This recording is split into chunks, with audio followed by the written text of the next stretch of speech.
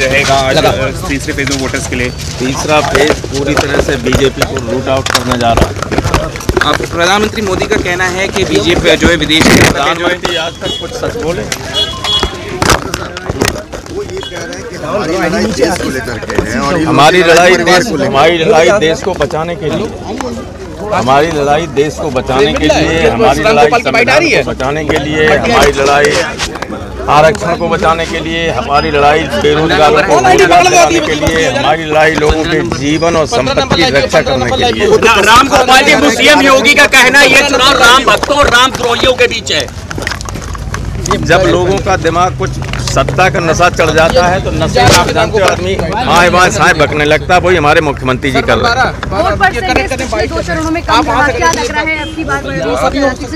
तो चाहिए ये गर्मी अम्मी का असर होता। है वोट परसेंटेज का किस पे क्या असर पड़ा ये चार तारीख को मालूम पड़ जाएगा।